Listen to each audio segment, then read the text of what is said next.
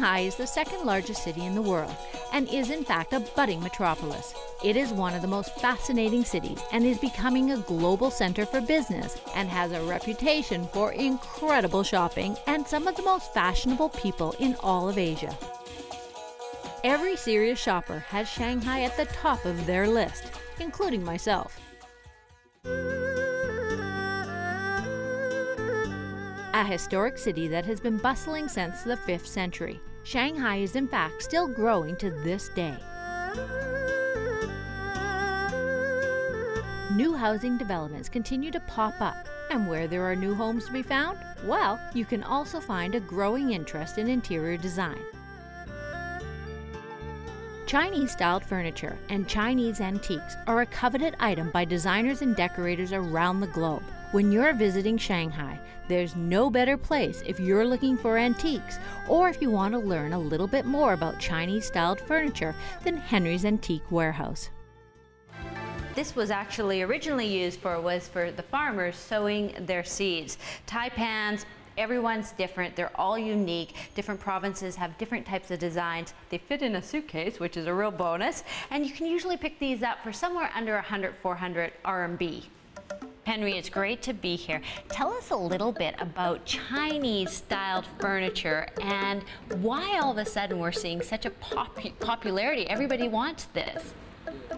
民族也非常的多，每个地方呢都有地每个地方的家具。那么这些家具呢，就像有呃，就像方言一样，呃，非常有风格。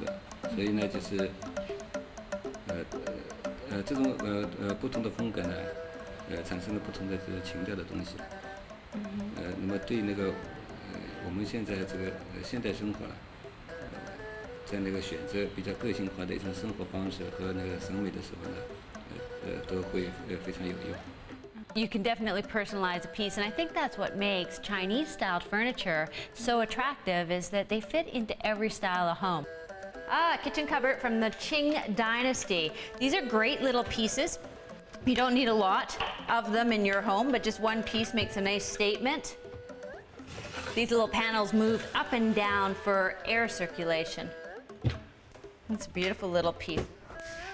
This piece was not necessarily used for bad shoppers, but it was actually used to hang your robes on. So it would make a great wardrobe hanger in the bedroom. Give us some tips for buying antiques. How do we know we're going to be buying a good quality and a real antique?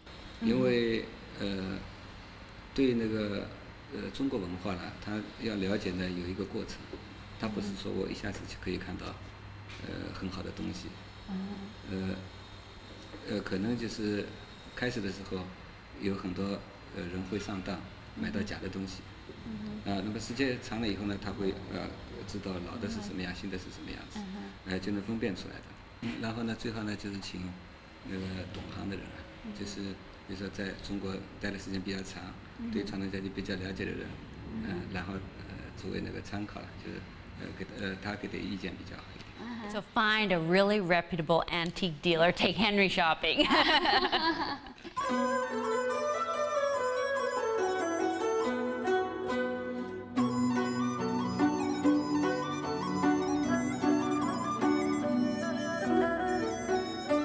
Luxman Furniture Industries is one of my favorite furniture stores in all of Shanghai, and no one makes furniture better than the Italians. These Italians have set up shop here in China so if you're looking for high end, luxurious furniture, then this is the store that you'll definitely want to visit.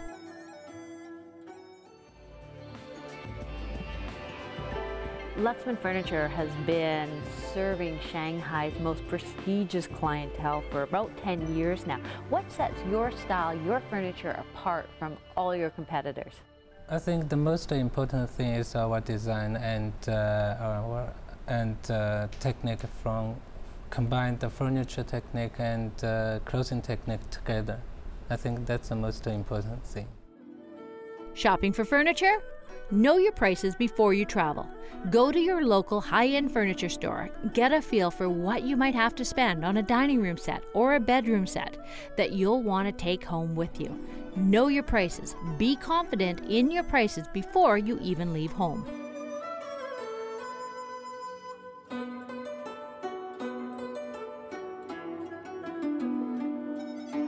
If you're well prepared, there's no telling what treasures you'll bring back home with you. Okay, it's official. I'm the ultimate shopper. I have even brought home a sink. Yes, a sink. These vessel sinks I could not resist. The designer in me knows that these are between four and nine hundred dollars back at home, but in Shanghai I got them for $30. Yes, great ceramic sinks, all sorts of different patterns. I try to bring home one or two every trip. Not only is Shanghai a bustling business hub, but it's also a cultural center. It just has so many treasures to discover and to share. And it's the treasures we find on our travels that make your home special. Those are the decorating items that will tell the world about who we are and how special we are. This is why Shanghai always has a special place in my heart.